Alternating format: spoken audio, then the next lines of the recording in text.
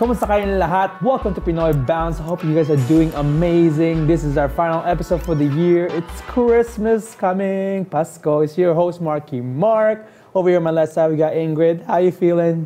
Good in the holiday spirit. Whoo! It's Pasko time. Over here on my right side, we got Piolo Pasco. Oh, sorry, it's James.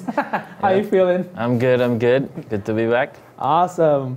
I'm excited because we're gonna start James with what do you got? Uh, today's NBA fun fact goes to Ja Morant.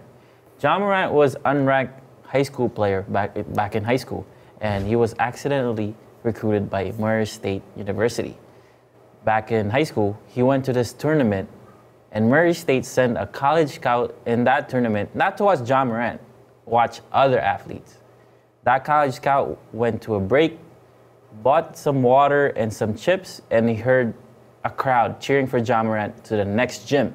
So he went to that gym and he saw Ja Morant and he was impressed. And he called Murray State and said, You should recruit this guy. This guy could be the next Westbrook or next big thing.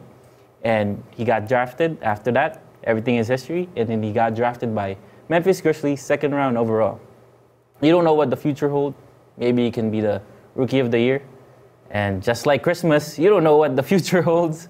And the matchup is nice LA Clippers, LA Lakers, Celtics against Raptors, Bucks against Sixers, Pelicans against Nuggets. What are you guys looking forward to? Like any matchup or exciting matchup that you guys want to see in a Christmas? For sure, that Celtics and, and Raptors is gonna be exciting.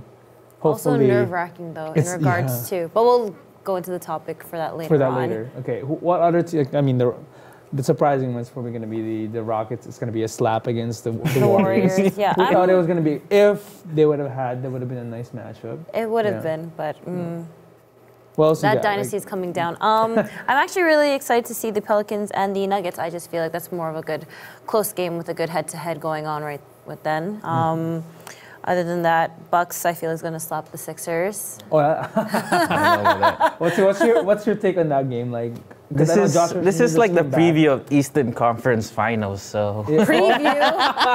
so uh, this should be like So you, you like, never know. So I don't know. Four or Uh, Sixers and and six. I'm just kidding. I don't know if it makes sense, but yeah. But actually, I'm actually excited about that game. I mean, Yeah, yeah. Giannis has been playing well, but also like uh, Embiid, Tobias Harris has been balling too. Uh, I like I like the addition that they have with Josh Richardson. I think he fits a little better. I hope his injury is over because I know he just, just came back from an injury. So I want to see them kind of in full health against Bucks. Hopefully Bledsoe is good by then because I know Bledsoe ha- has some injury as well. But I think Giannis is playing on an MVP level, so I want to see. he's that carrying game. the team. Yeah. gonna he's carrying the team because uh, Malcolm Brogdon is out. I mean, he's gone. He went to the Pacers, Mm-hmm. and some players are going.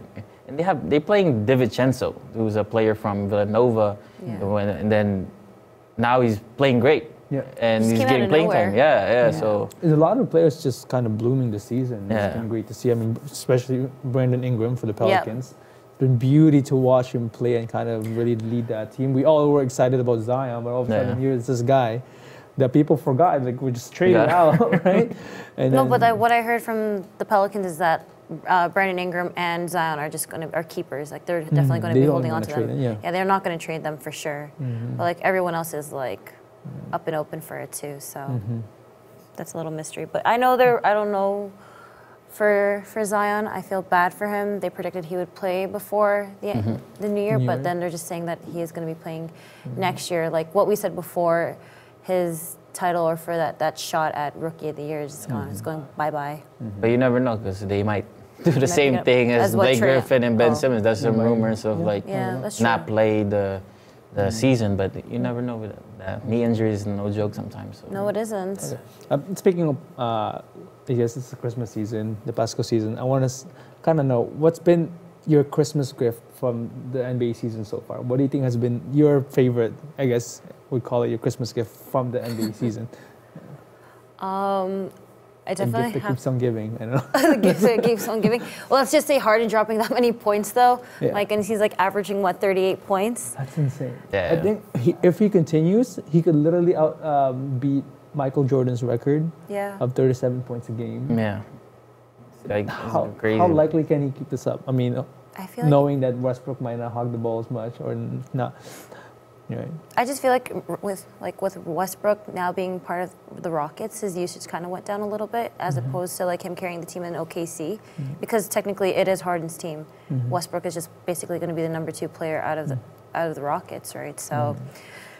The gift that keeps on giving. I mean, Harden just keeps dropping dropping those points if anything. So, So the, you all agree the only thing that can stop Harden from scoring 38 points a game or beat Jordan's record is Westbrook. basically, yeah. The same thing that well, with Westbrook and Harden together in the court is plus 17, so he's playing great with the Yeah. Yeah. with uh, Westbrook. So because I guess they have like the off court, they're they're playing. They, they don't have no fine. problems. There are no problems with each other. So Yeah. so they they're so used to playing together like for a long time too now. Right? True. So True.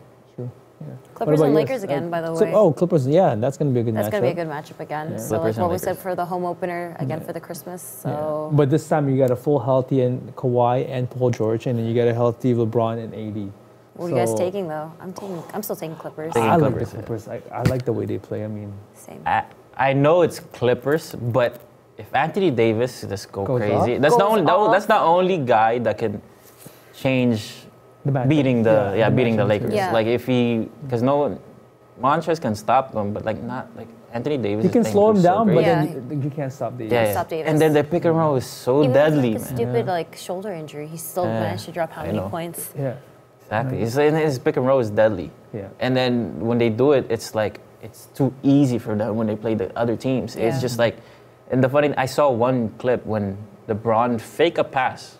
He was just doing this, and they just threw it like like like that, and then it just Anthony Davis just dunked it easily. Yeah. They can easily read it. I don't know what it is. They Yeah. just have that I kind think of it's radar. just yeah. I think Davis is just that kind of player that you can, uh, that you can. I, I I- I just had a feeling like an intuition, just knowing the kind of player Davis is, the his personality.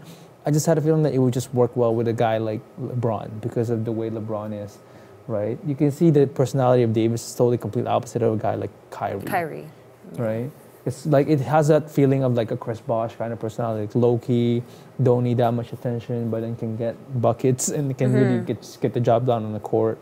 And, and I like I felt that way too with Paul George and, and, and Kawhi. They just have that kind of low key, kind of small market kind of personality, but then they just want to get done on the court. Right? No drama whatsoever. Yeah. I think that's kind of why Paul George kind of decided to stay at OKC because it was a small market, not much attention, right? Yeah. And then kind of when he found out about the fact that Kawhi is going, I think he kind of just made a move in saying, I want to win a championship. And he knew that he can't win it in playing with a guy like Westbrook, Yeah. right? This is basically like the most. He's the most athletic player who ever played with LeBron. Mm-hmm. Like you, you see, Dwyane Wade is there, Kyrie is there, but this guy's the most athletic athlete he played with. Who played with LeBron. So Let alone one of the tallest too, right? Yeah. Yeah. Yeah. It's One of the biggest. Yeah. What about your Christmas gift, by the way? oh, my Christmas gift has been like Pascal. oh yeah, yeah, for sure. I'm just, yeah. you know, I, I was never a crazy Raptors fan until really just last season when I just kind of saw what the thing that I liked about basketball, which was passion a- a- and just amazing basketball. It was a team effort basketball. That's kind of the kind of basketball I've always enjoyed watching. And just to kind of see it this season even more because of the development of OG, mm. Norman, and, and Fred, and then Pascal taking that even bigger lead. So it was just a gift to see. And for James, I'm pretty sure what he wants for Christmas is a win I win. from the just want to Sixers. win. No, my I want for Christmas is Brett Brown getting fired. oh, yeah. that's, that's, I'm sorry, forever Brett Brown. be but- it. Let's see. That, that could come next year. We'll oh. see. That's all we have, guys, for What's Up in the NBA. I hope you guys enjoyed that. But stay tuned because when we come back, all about the Raptors.